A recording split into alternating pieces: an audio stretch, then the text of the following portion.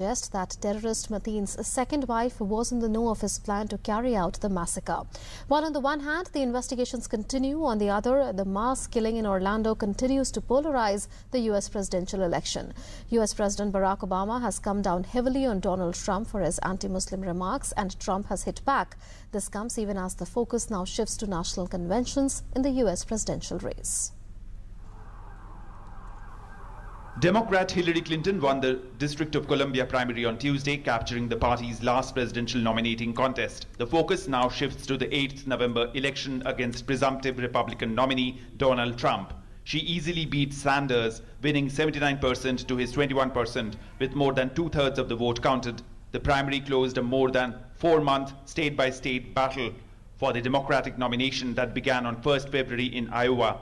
Clinton, who secured enough delegates to clinch the Democratic presidential nomination last week, met with rival Bernie Sanders to search for common ground in the race against Trump. So what's next in the race to the White House? On the Republican front, the National Convention will play out from July 18th to 21st, while the Democratic National Convention is scheduled from 25th to 28th July. Both parties will announce their presidential candidates at these conventions. The first presidential general election debate will be held at Wright State University in Dayton, Ohio on 26th September. The vice presidential general election debate will be held at Longwood University in Farmville, Virginia on 4th of October. This will be followed by the second presidential general election debate held at Washington University in St. Louis on 9th of October.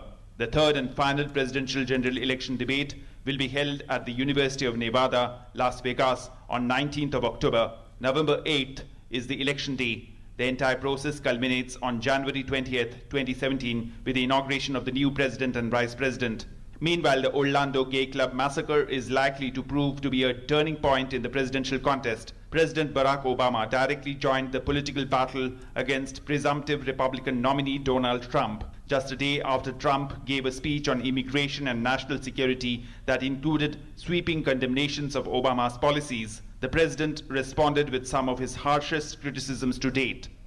We now have proposals from the presumptive Republican nominee for President of the United States to bar all Muslims from emigrating to America. We hear language that singles out immigrants and suggests entire religious communities are complicit in violence. Donald Trump retaliated in equal measure, asking Obama to direct his anger at Omar Mateen and not him. And I watched President Obama today, and he was more angry at me than he was at the shooter. That's the kind of anger he should have for the shooter and these killers that shouldn't be here. The UN Security Council has unanimously condemned the mass shooting in the strongest terms.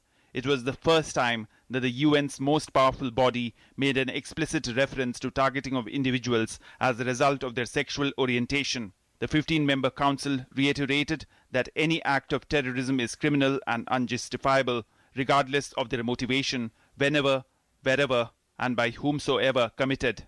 Former Beatle Paul McCartney paid tributes to the victims of the Orlando club shooting at a concert in Berlin, and even as vigils continue across US and the world, new angles are emerging on the investigation front.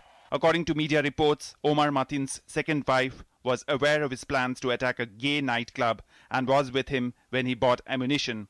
Reports say authorities are considering filing criminal charges against her for failing to alert them. Noor Salman has been questioned since the attack early on Sunday. Newsnight Desk, DD News.